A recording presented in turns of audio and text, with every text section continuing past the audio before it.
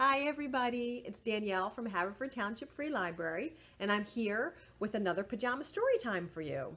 And once again, my daughter Vivian is joining us. She really likes doing the story times with me, so much so that she's been recording her own at home. It's been a lot of fun. I wish you guys could see it. So, should we get started with our pajama story time song? Uh-huh. Okay. If you want to read a book, clap your hands. If you want to read a book, clap your hands. If you want to read a book, listen up and take a look. If you want to read a book, clap your hands. If you want to read a book, stomp your feet. Stomp, stomp. If you want to read a book, stomp your feet. Stomp, stomp. If you want to read a book, listen up and take a look. If you want to read a book, stomp your feet. Stomp, stomp. If you want to read a book, say shh. If you want to read a book, say shh. If you want to read a book, listen up and take a look. If you want to read a book, say shh. Perfect. So we're all ready for our first story. You guys can sit down and get comfortable. Are you in your jammies? Are you in your comfy jammies yet?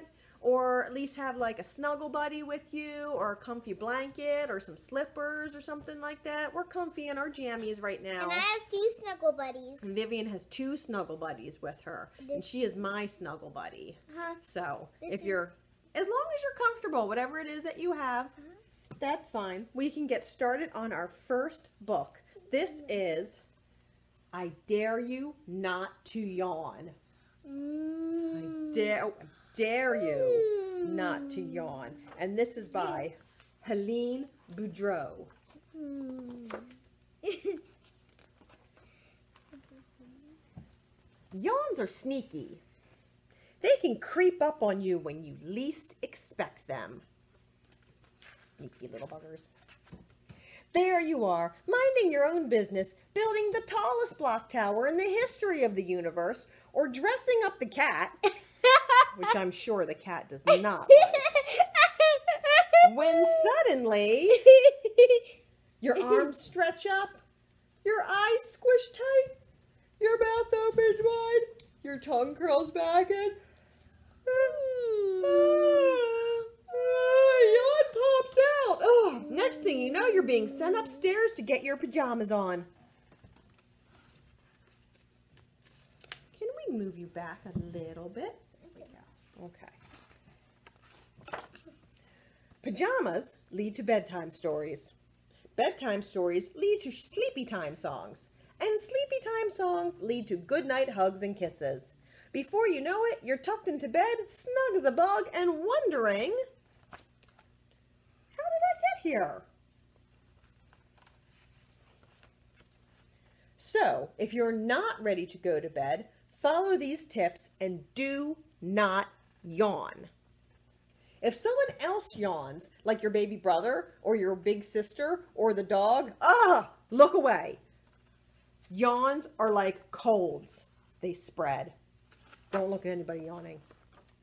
Stay away from huggable stuffed animals, soft, cozy pajamas, and your favorite blankie because mm, those can make you feel snuggly. Avoid bedtime stories about sleepy baby animals, like tiger cubs arching their backs in one last stretch, their eyes squished tight and their tongues curled back. Or you might start to feel stretchy too. Don't sing sleepy time songs about twinkling stars or baaing sheep, especially the counting kind. One sheep, two sheep, ba ba ba. And whatever you do, whatever you do, don't think of droopy eyed baby orangutans holding their long arms out for a hug from their mamas. Their little mouths forming perfect O's. Oh, oh, oh, oh, oh, oh. If you try all of these things, but still a yawn creeps up and grabs a hold of you, quick, cover your mouth and keep it from escaping. Because if your arms stretch up, uh-huh, your eyes squish tight, your mouth open wide, your tongue curls back, oh, and a yawn pops out. Mm-hmm. Then off to bed you go.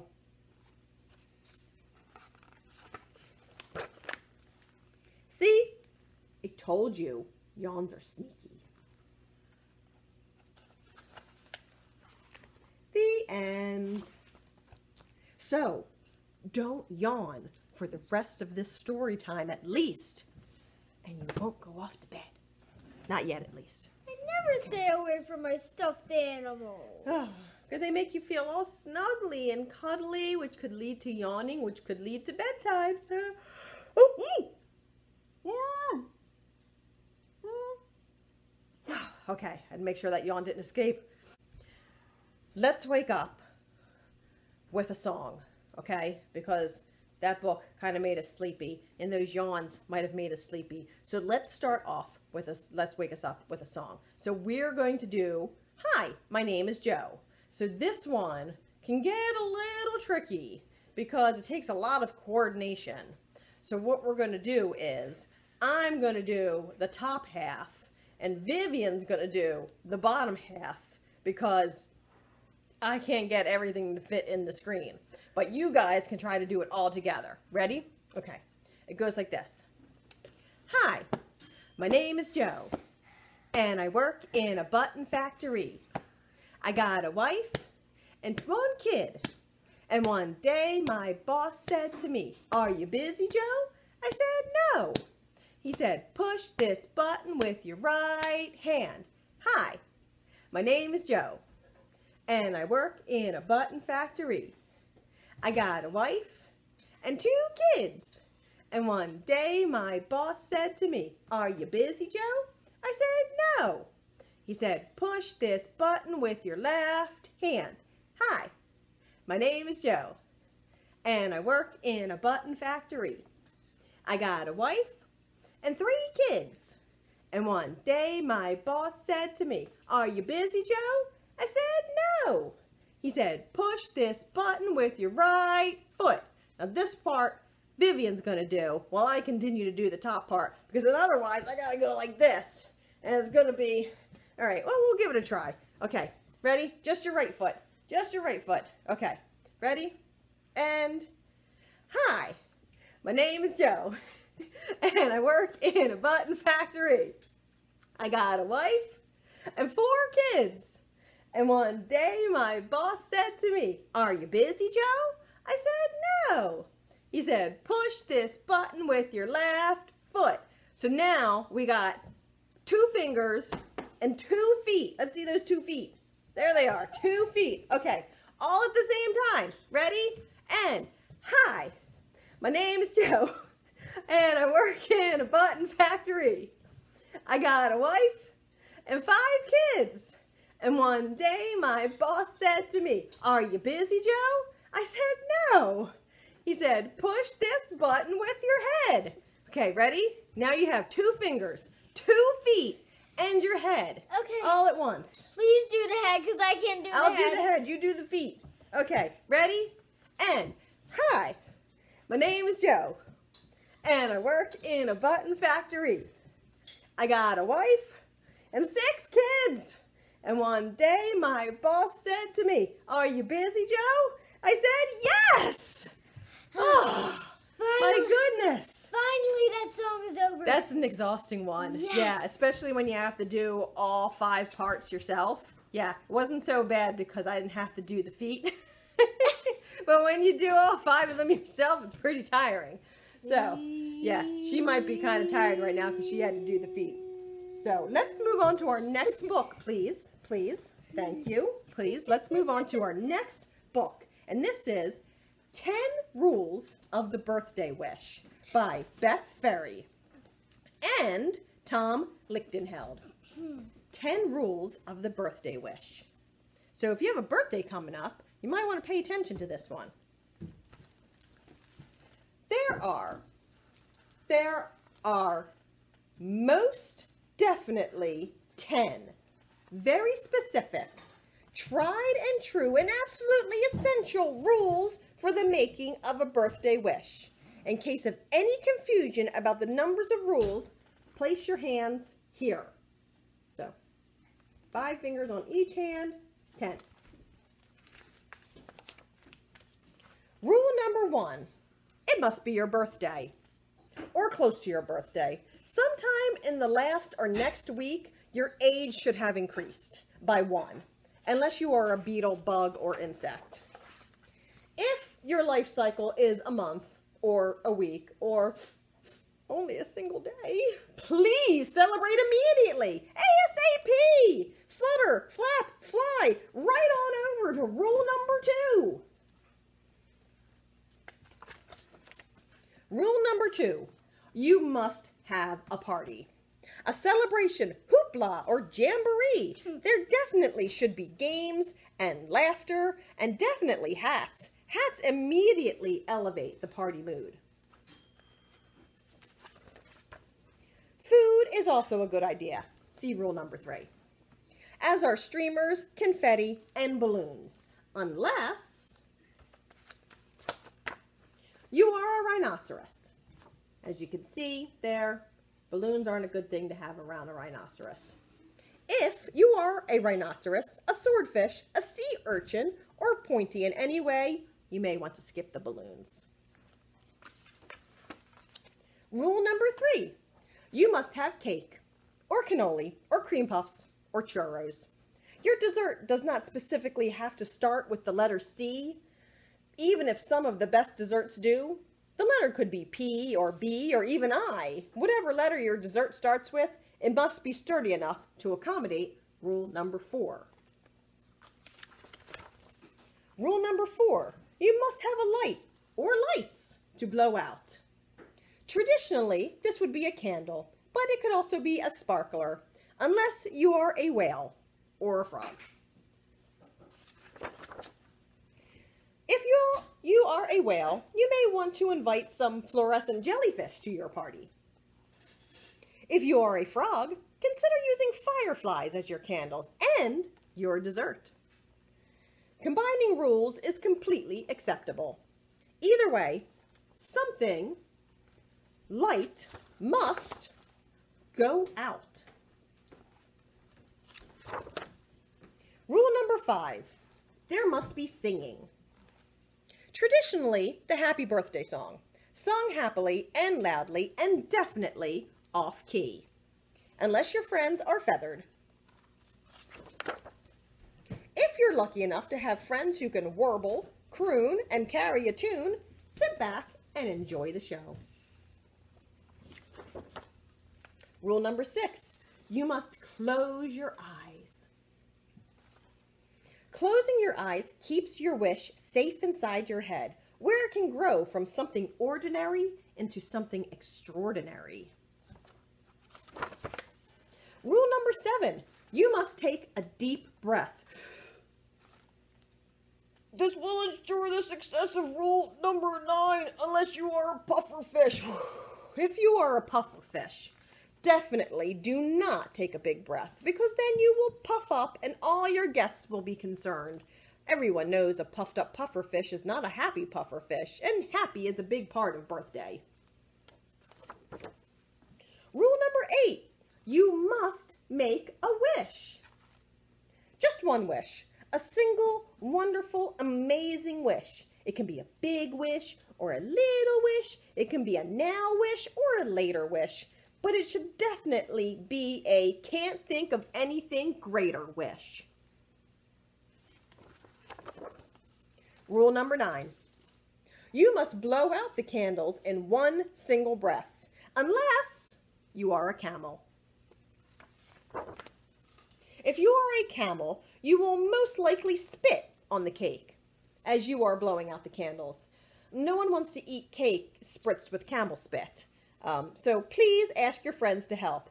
Combining breaths is completely acceptable. Rule number 10, don't forget that wish ends in shh. So keep your wish quiet, silent, hush hush. And when the fun is done and your friends have left and the moon is high in the sky, close your eyes and dream of your wish coming true. The end. I hope you remember that because that was a lot, especially for all those exceptions, like if you're a camel or a whale or a bug or something like that. That's just that's all a lot to to uh, to think about. I think we need to do one more song before we do our last book. I think we need to do one more song. Since we talked about whales in that book, let's do orca whale. So if you can go like this, that's your orca whale jumping out of the water. If you can go like this, those are your sea scallops. If you can go like this, that's your sea otter. And if you can go like this, that's your puffer fish, which is also, you know, something else that was mentioned in that book. There was a puffer fish in that book too. So it goes like this when we put them all together. An orca whale, an orca whale, little sea scallops and an orca whale, an orca whale, an orca whale, little sea scallops and an orca whale, sea otter, sea otter, little sea scallops and an orca whale, sea otter, sea otter, little sea scallops and an orca whale, a puffer fish.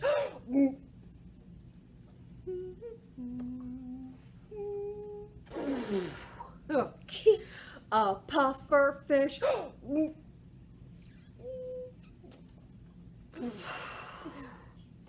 Little sea scallops and an orca whale. And that's it. Something wrong with your ear? No. No, you just keep holding your ear there.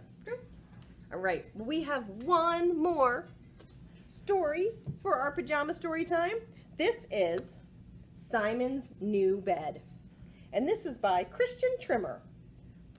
So this is Simon. This is Simon's bed.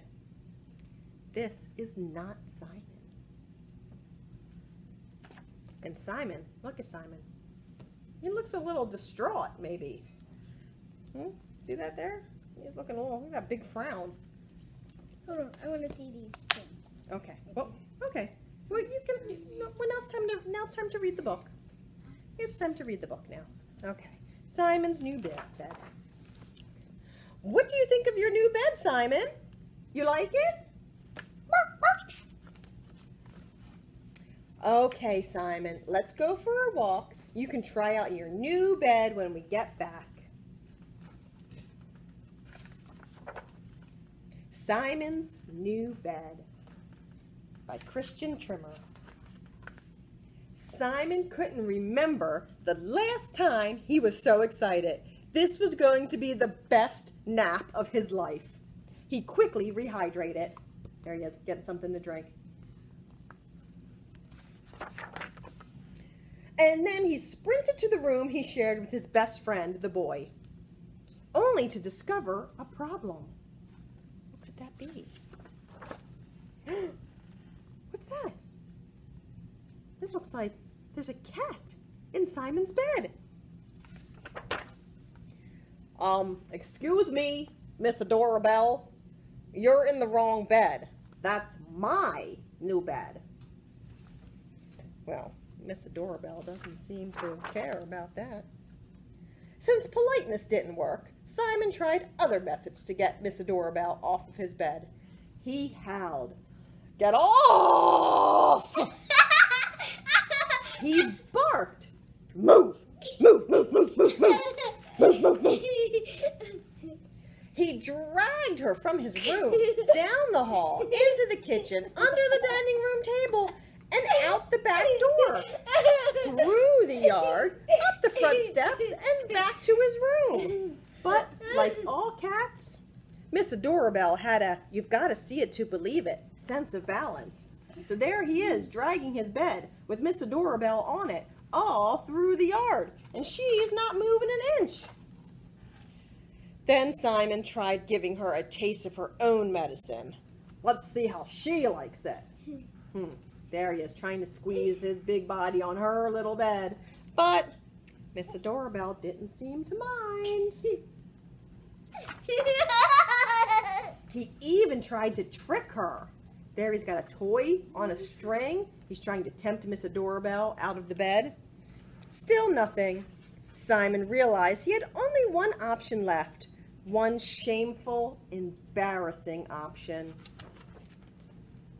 He begged, Please get out of my bed! But Miss Adorabelle didn't move an inch. Simon was on the verge of tears. He had tried everything he could think of to get that mean old cat off of his bed. But what if, Miss Adorabelle, how about we share?